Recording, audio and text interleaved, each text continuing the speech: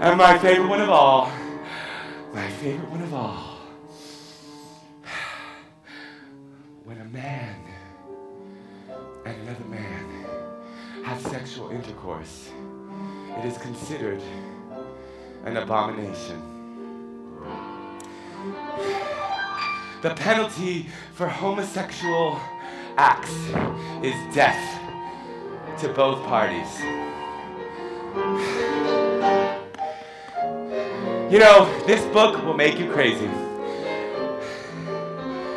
I mean, I mean, I want to try something. I mean, for example, this, after you read this book, this is what your brain looks like after you read it.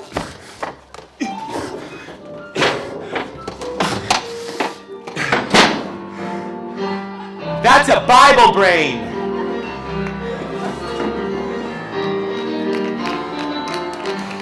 Actually,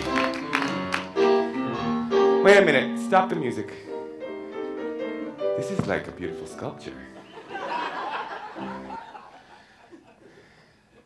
I want to. Can we take off everything except this light here for just a second? Is this possible? Want to see what this looks like. Yeah. Wait a minute. Let me put it in the light. Wait. Just everything else. Okay. Damn. That's a Bible brain. Does anybody, wait a minute.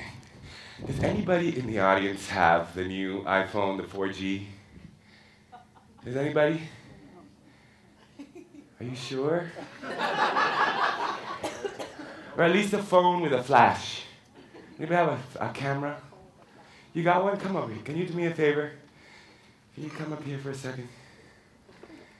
Take a picture of this. I'm gonna give you my email after. Take a 3D picture of this, yeah.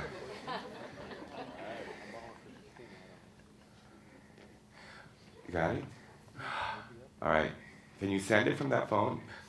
Okay, let me just, and then, let me do a picture with the sculpture and the artist.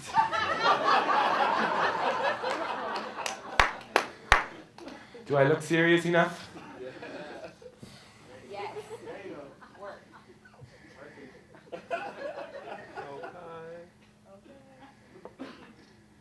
Awesome.